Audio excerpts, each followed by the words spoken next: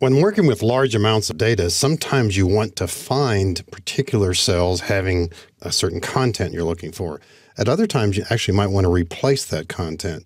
Both of these features are available from the Home tab on the extreme right button in the editing group. Find and select the binoculars icon. A simple example here, we're looking for somebody named Rick if you'd like a search to occur faster, isolate the area that you're searching. We're not looking in columns B or C or anywhere else, just column A. Then click the Find and Select button, choose Find, and we're looking for Rick here. And by the way, it doesn't have to be capitalized. It's not case sensitive. We'll just type Rick. And we can find all of them in the same dialog box. We'll have to make it wider. And we might be a little bit surprised here. It found Rick in places we didn't exactly think of, like in Patrick or in Strickland. And of course, RICK is in all these locations.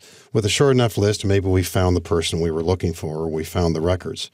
Now, for those of you who are familiar with the filtering capability, that might be a better way to do this. But if you're in a relative hurry and you simply want to see if something exists, the find feature is certainly capable recognize that there are some options here too. And from time to time, it is important to match case. We didn't need that here.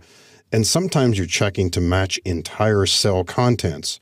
We wouldn't have wanted that here because we would have found nobody since no cell here contains Rick and nothing else. Now, just as likely a feature and perhaps more useful in some cases is the idea of replacing data. And a couple of simple examples here.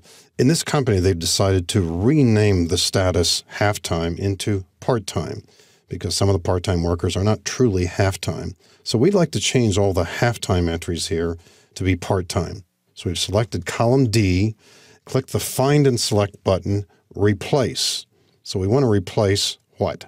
Half with part.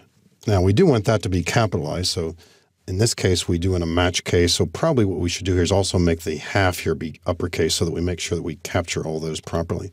And also in this case, we do not want to match entire cell contents, just a portion of it. So we want to make sure that box is unchecked. We want to replace all occurrences of half with the word part.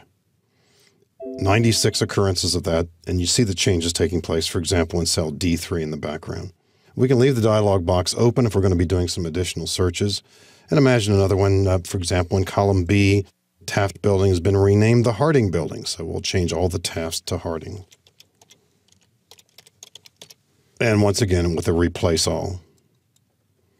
63 replacements.